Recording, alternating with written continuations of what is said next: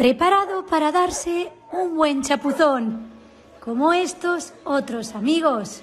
Esta fiesta de la piscina para mascotas organizada en Caracas, Venezuela, ha sido todo un éxito. Se trata de que los perros pierdan el miedo al agua y sociabilicen. Acompañados de sus dueños, a algunos les cuesta más que a otros y se lo toman con calma. Poco a poco comienzan a disfrutar de su baño y al final parece que a todos les ha gustado. Después del baño llegan los mimos. Besos, masajes y caricias. Tanto poder de convocatoria parece que pronto habrá una segunda fiesta para estos caninos.